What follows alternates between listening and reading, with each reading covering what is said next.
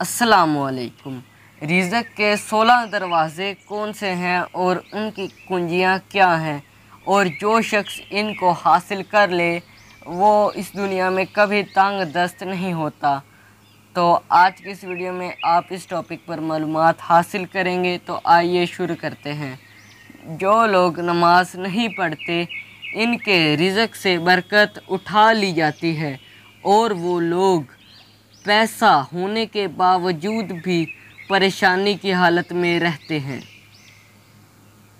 दूसरा दरवाज़ा इस्तगफ़ार है। जो इंसान ज़्यादा से ज़्यादा इस्तगफ़ार करता है, तोबा करता है, इसके रिज़क में इजाफ़ा हो जाता है और अल्लाह ऐसी जगह से रिज़क निकालता है जहाँ से कभी उसने सोचा भी नहीं होता।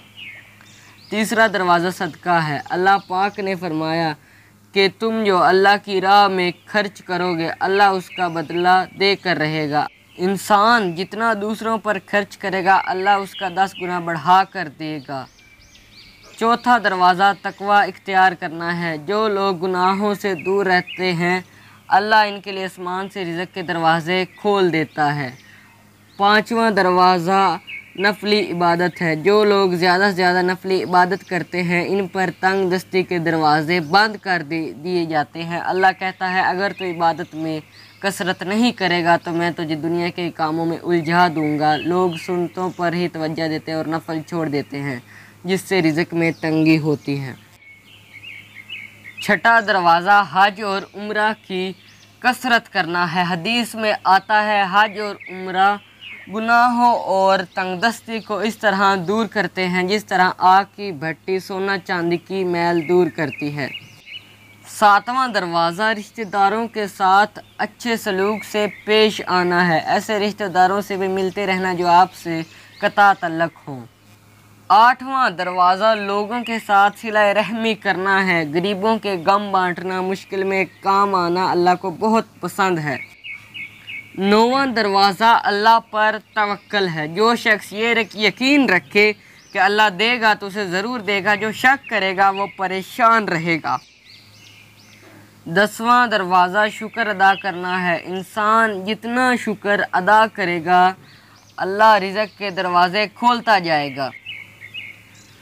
ग्यारहवा दरवाज़ा घर में मुस्करा कर दाखिल होना है। घर में मुस्करा कर दाखिल होना सुन्नत है।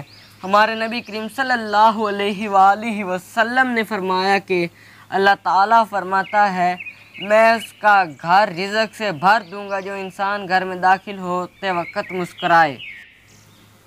बारवा दरवाज़ा माँ बाप की फर्मा बरदारी करना है, जो शख्स वालदेन की फर्मा बरदारी करता है, उसे रिजक की तंगी नहीं होती।